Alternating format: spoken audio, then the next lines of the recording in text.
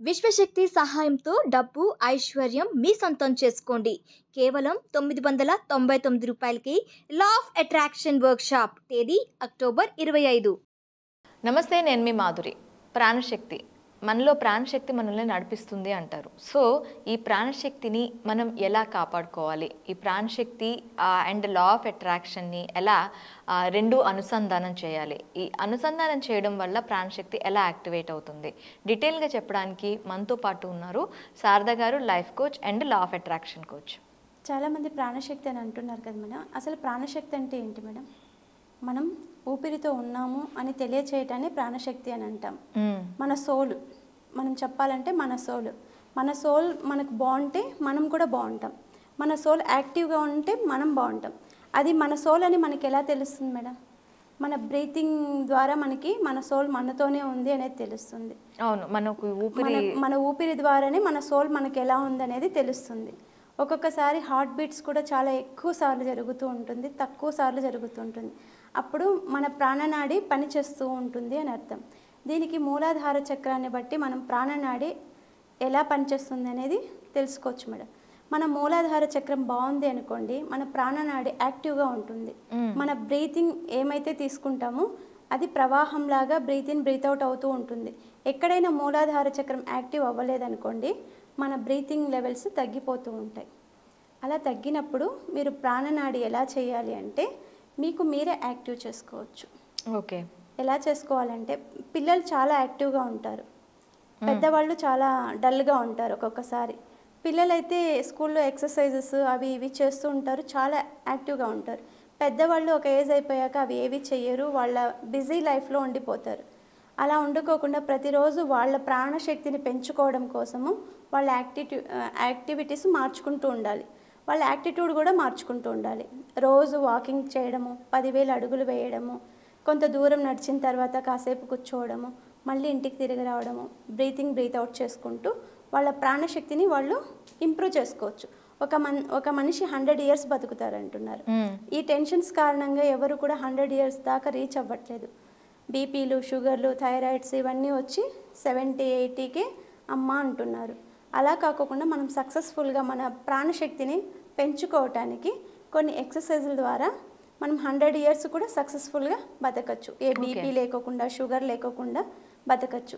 అది ఎలా పెంచుకోవాలి ప్రాణశక్తి అంటే మనం రోజు చేసే ఎక్సర్సైజ్ ద్వారా పెరుగుతుంది యోగా ద్వారా పెరుగుతుంది మెడిటేషన్ ద్వారా పెరుగుతుంది.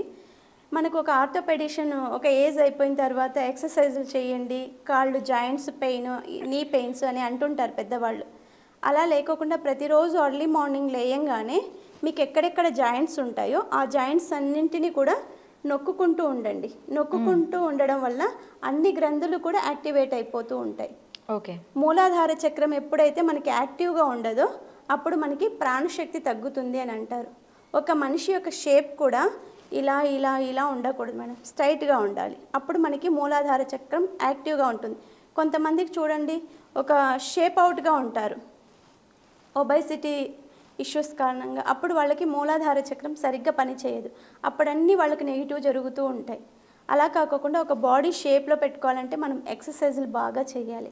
పిల్లలు ఎంత యాక్టివ్గా ఉంటారో పెద్దవాళ్ళు కూడా అంత యాక్టివ్గా ఉండాలి. ప్రతిసారి మనం ఎక్సర్సైజ్ చేయించుకోలేం కాబట్టి ఆర్థోపెడిషన్ నుంచి మనకు మనమే చేసుకోవచ్చు. ఎక్కడెక్కడైతే మనకి జాయింట్స్ ఉంటాయో ఆ జాయింట్స్ దగ్గర ప్రెజర్ ఇవ్వాలి. ప్రెజర్ పాయింట్స్ అన్నీ పనిచేసాయనుకోండి యాక్టివేట్ అవుతూ ఉంటాయి. ఇలా జాయింట్స్ ఎక్కడెక్కడ ఉంటాయి మేడం మనకి? ఎక్కడెక్కడ?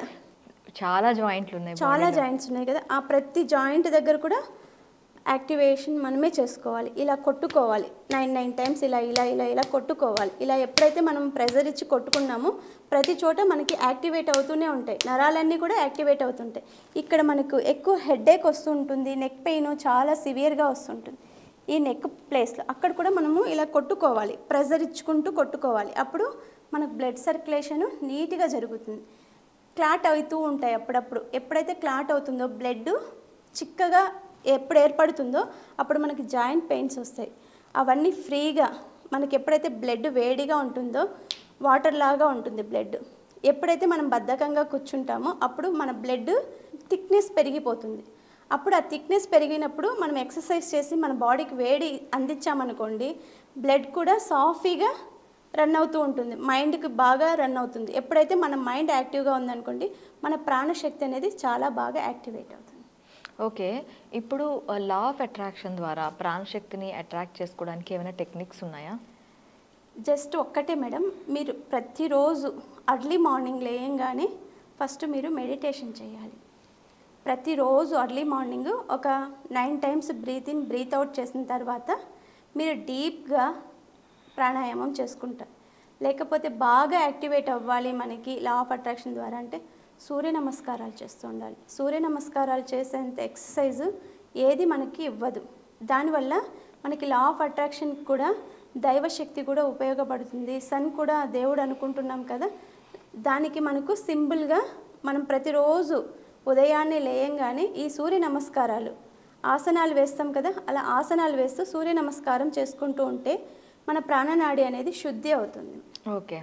ఇలా సూర్య నమస్కారాలు చేస్తూ ప్రాణాయామం చేసుకుంటూ ప్రాణాయామం. చేస్తూ ఉండాలి. Breathe in breathe out breathe in breathe out. డీప్గా తీసుకోవాలి మేడం. ఊరికే మనం అలా తీసుకుంటాం కదా అలా తీసుకోకూడదు. హోల్డ్ చేయాలి కాసేపు. ఇప్పుడు చూడండి ఒక నిమిషం.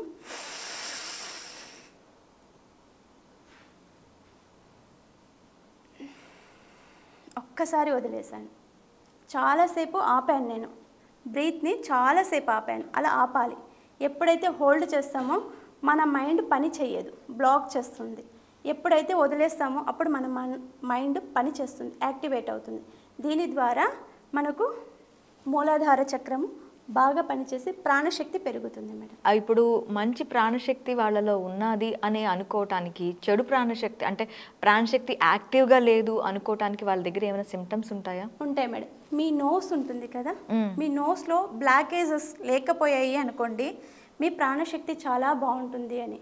మీ నోస్ ఎక్కడైనా బ్లాకేజ్ మీరు ఊపిరి తీసుకుంటున్నప్పుడు బ్లాకేజ్ అనిపించింది నాకు బ్రీతింగ్ ఇష్యూ అనిపిస్తుంది ఉన్నట్టుండి బ్రీత్ తీసుకోలేరు ఒక్కొక్కసారి వదలలేరు.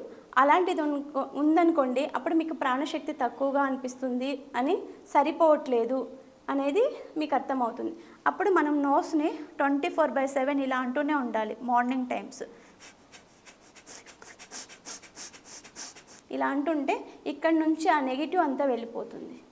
ఎక్కడైతే బ్లాకేజెస్ ఉంటాయో మనకి ఆ బ్లాకేజెస్ మొత్తం క్లియర్ అయిపోతుంది. ఈ ఇటువైపు నోస్ అయితే ఈ హ్యాండ్తో క్లోజ్ చేసుకోవాలి అదే సౌండ్ చేయాలి. సౌండ్ రావాలి. బాగా సౌండ్ రావాలి. ఫ్రీగా ఉందనుకోండి మీ మూమెంట్ మీకు ఏ బ్లాకేజెస్ లేవు ప్రాణశక్తి బాగుంటుంది మీకు బ్రీత్ ఇన్ బ్రీత్ అవుట్ బాగా అవుతుంది అని ఒక్కొక్కసారి చాలా ఎక్కువ టెన్షన్ అయిందనుకోండి ఒకసారి బ్రీత్ ఇన్ బ్రీత్ తీసుకోలేము. ఎందుకంటే పొల్యూషన్ కూడా మన మీద బాగా ఎఫెక్ట్ అవుతుంది కాబట్టి మన హెల్త్ పాడైపోతుంది. మనం ఎంత యోగా చేసినా సాధన చేసినా ఫుడ్ సరిగ్గా తీసుకున్నా కూడా ఒక్కొక్కసారి మనం పొల్యూషన్లో వెళ్ళాల్సి వస్తుంది లెడ్ రిలీజ్ అవుతుంది. ఆ లెడ్ కారణంగా కూడా మనకు బ్రీతింగ్ ప్రాబ్లమ్స్ వస్తున్నాయి. అప్పుడు మన నోసు బ్లాక్ అయిపోతూ ఉంటుంది. అలా బ్లాక్ అవ్వకోకుండా మన ప్రాణశక్తిని పెంచుకోవటానికి ఈ ఎక్సర్సైజ్ ఫాస్ట్గా చేయాలి మేడం. సౌండ్ రావాలి.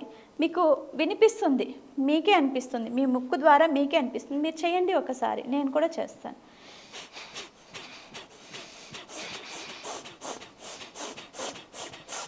అలా రాలేదు అంటే మీకు ప్రాబ్లం ఉంది. ఇది ఒక్క రోజులో కాదు మేడం.